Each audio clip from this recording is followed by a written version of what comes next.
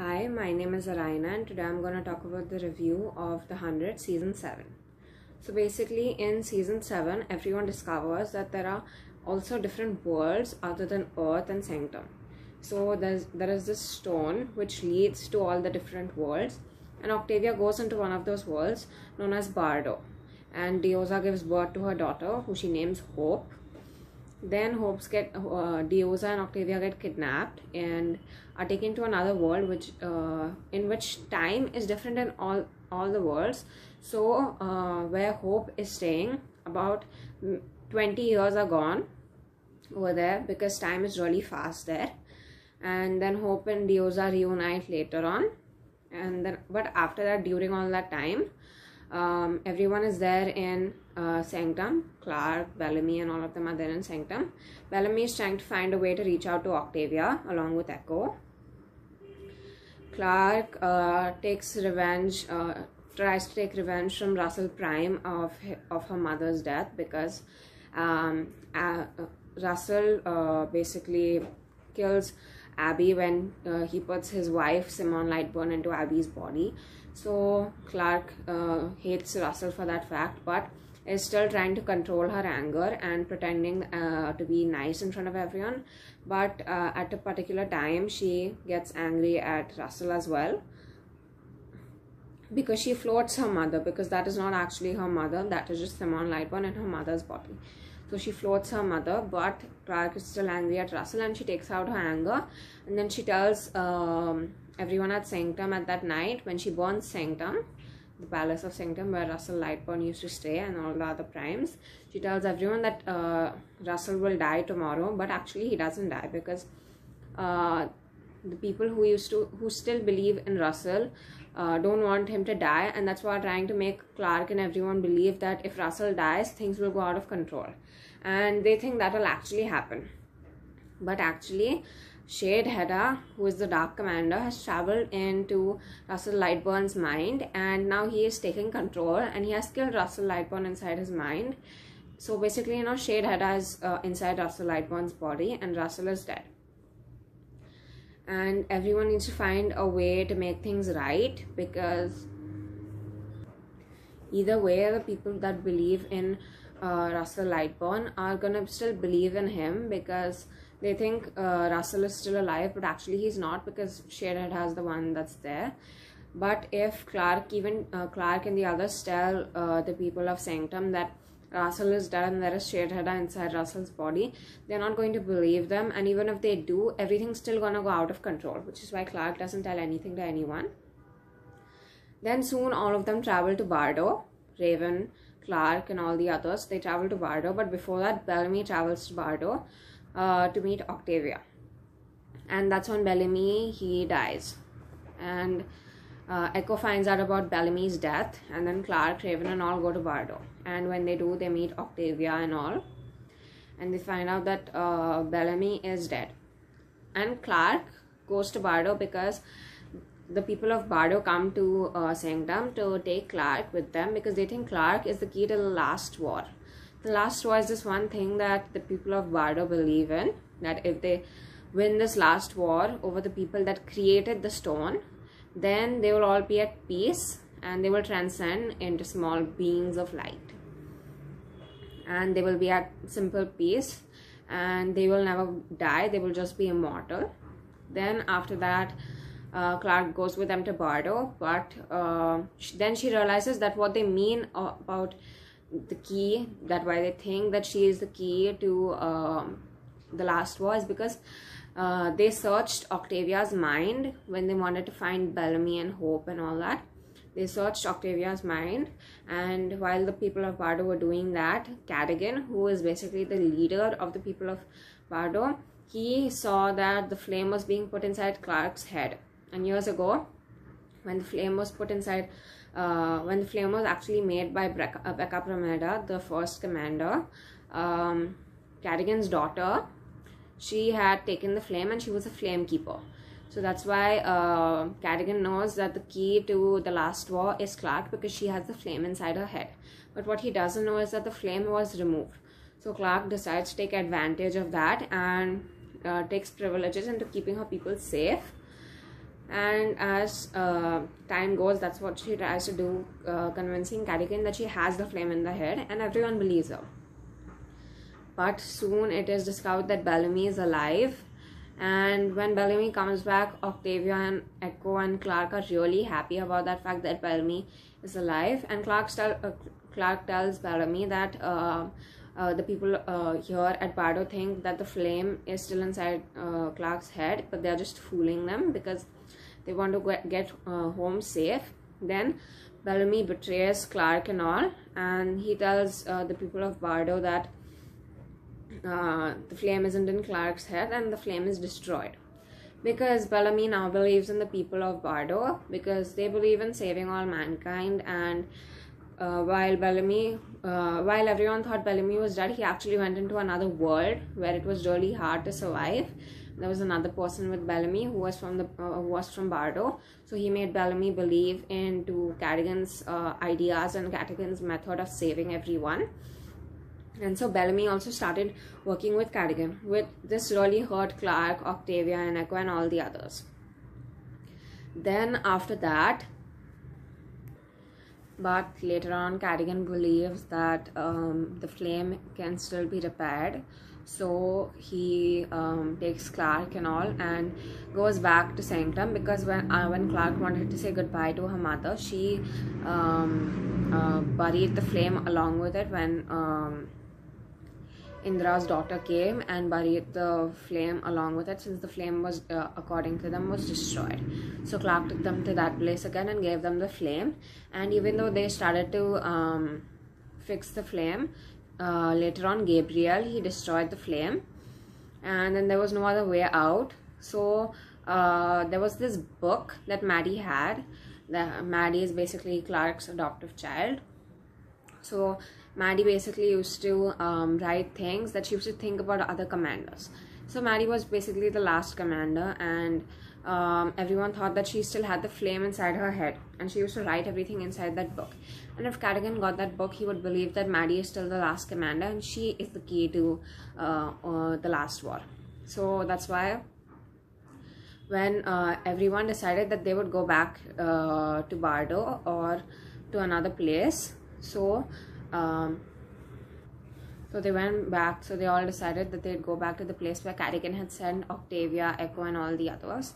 So while they were going there, while the uh, stone was still moving, that time they, they had the time to go and one by one every one of them was going on the other side but clarke she wanted the book from bellamy but bellamy wasn't giving the book and clarke knew that cadogan would come for her and Madi and one day would kill Madi because she had uh, the key and that could get Madi killed so that's why um, Clarke shot Bellamy and killed Bellamy and, the, and but couldn't get her hands on the book. But still went on uh, but still went back to Earth uh, but the book was still behind. And Earth had reformed its shape back. Then Clarke told everyone that Bellamy was dead that she killed Bellamy. And basically after that uh, also left then after that so basically they all need these helmets to get to the other worlds wherever they want to go sanctum or any other place because if they don't use these helmets then they will forget what they remembered in the other world. So basically um, there was only one helmet left. Uh, clarke destroyed that because she didn't want anyone else leaving because she thought it was the right thing to do but actually it wasn't because it put everyone's lives in danger because Sheidheda came through through the stones and came to earth trying to kill Madi but he killed Gabriel instead. That's when Clarke uh, decided that we all had to find a way to get safe which means we had to repair that um, helmet. And Clarke also realized that there was a stone on earth. So that's why they all uh, had to start digging. But um, Raven was still um, she was still fixing the helmets while Madi surrendered herself. And there was just like how Cadogan went back to the other world. He took by taking some pill or something. But uh, Madi realized that if she would stab herself with one of the knives also which Shade had I wanted him uh, wanted to stab her with uh, she would go to uh, Bardo. And Madi stabbed herself and uh, Madi went to Bardo which wanted uh, which made uh, Clarke um, want to go to Bardo as well to protect Madi, but um, Raven was still working on the helmet, so she had to wait. While there was uh, like a really big blast, uh, after uh, before that blast, Clarke and Octavia they basically took this same pill that Carrigan had left, and they were hoping that someone from the other side would uh, try to um, call them because they needed uh, another point from Bardo who would come to receive them. So basically, Clarke and Octavia manage to get on the other side, but when they do, they find out that Madi has uh, basically Clarke thinks that Madi is dead, but actually she isn't. She just isn't moving because um, one more person, Levin, who is also from Bardo, but is actually helping Octavia and Clarke and all the other people. Uh, he figures out by using his technology of Bardo, he figures out that uh, Carrigan got the code, and while trying to get the code, he hurt Madi, which destroyed her some cords inside her brain, which were responsible of her uh, physical movement, which is why Madi can't even blink. So that made Clarke really, really angry, and she wanted to stop Carrigan. So that's why she didn't kill Madi or else before knowing that Madi could hear her or anything. She was going to kill Madi, thinking she's dead, thinking she's alive but can't actually do anything so then uh, Clarke decided to go after the people of um, Bardo and try to stop Cadogan. So basically, while they were all doing that, and uh, on Earth, uh, Emori's life was in danger, and Murphy, Raven, and Jackson were trying to get her to Sanctum, but they had to dig until they reached the stone, and Emori was almost dead. So by the time they reached to Sanctum, Emori was almost dead and then she died but Emori had that chip inside her head which made her immortal. So that's why um, Murphy asked uh, Jackson and Miller to remove the chip from Emori's head and put it into his head. That would make Emori's soul go into Murphy's head. And after that after some time Murphy would die since it's Emori's chip that is there in Murphy's head then after that clarke uh, tries to go after carrigan and while carrigan uh, so basically there's this huge uh, light kind of a thing that carrigan went inside to which uh, he finds out that someone uh, who looks like his daughter he thought it was her daughter but uh, actually she's not carrigan's daughter. She is a judge. That's when carrigan realizes that it is a test not a war. Then carrigan uh, answers the first question and while answering it Clarke comes and kills Carrigan.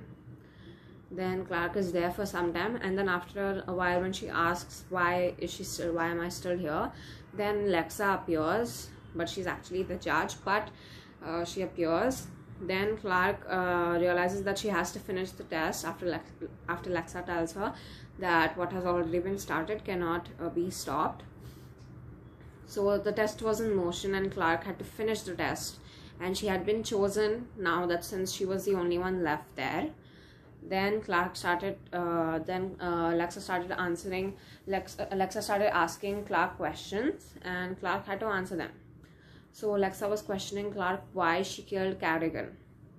Lexa said that he killed Madi then, but basically Madi wasn't actually dead. She was breathing, she was alive.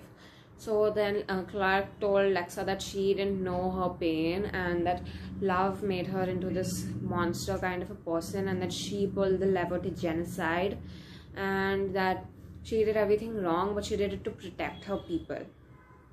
But Lexa decides that if she is humanity then uh, humanity cannot be saved. So then she declares that everyone is going to die because of Clarke's way of speaking and everything that happened during the test. Clarke comes back and Raven is there with Clarke. Then uh, uh, Raven, Clarke tells Raven everything and Clarke tells Raven that she should have gone instead of herself. Then Raven goes inside when the color color of the entire thing changes. Raven goes inside and sees Abby, and but she goes to hug Abby because she really missed her. But then she realized that um, the judge takes the form of someone you love. That's why uh, Carrigan saw his daughter and Lex and Clarke saw Lexa, and that's why Raven was seeing Abby that time. And Cla uh, and Raven tried to explain to Abby that uh, all that Clarke had done was right and she was only trying to save us and that even though we uh, did wrong things we all survived and even though if they didn't want us to join them and transplant they could at least let us live and give us some more time. After that um, there was like they tried to cause a distraction showing that there was going to be a last war. Like all the people of bardo were on one corner waiting for the last war to begin. And all uh, the people of the ark decided that they were going to um, create a distraction by getting all their people but they're not going to arm or they're not going to shoot or anything but they're going to cut the electricity supply from their side like the technological supply from the people of bardo's side so that no one can shoot and no one can kill anyone. Then after that um, all of them uh, from the ark come on that side and the grounders and everyone but no one shoots so everyone is just silent. Then Sheidheda comes and he starts shooting. Then uh, when the technology comes back on Bardo's side then everyone over there also starts shooting. But Levin comes in and tries to stop everyone. Then Levin gets shot and uh, then Echo also gets shot but Octavia and Hope help them then after that um, Raven tries to talk to them. And then Octavia and then Levin tells Octavia that uh, she had to stop the war between them. And Octavia tries to motivate everyone telling that they are all being tested right now and that fighting is not the way out. And that is when all of them try to start to transcend. Then all of them uh, transcend and go at peace and become immortal. But Clarke is the only one left. Madi also goes and she is she, she has transcend and she is also immortal and at peace but Clarke is the only one left. Then Lexa appears to Clarke again. Lexa tells Clarke that she cannot go because she is the only one from all the people who have who has ever committed sin till the time of dawn. And uh, she uh, and she has to pay the price of her actions. Uh, so because she murdered Carrigan during that uh, time of her test. So that's why she could not come and then Lexa tells uh, Clarke that all like all her friends like Raven, Octavia, Levin, Echo, uh, all of them decided to come back. And then Clarke was confused because she thought that transcendence wasn't a choice but actually it was. So all her friends came back because they were because they didn't want Clarke to live alone because they wanted to thank them uh, thank her in one way because they uh, because she saved them all along so um, that is the end of the 100th season 7 and the entire series. Thank you so much for listening to me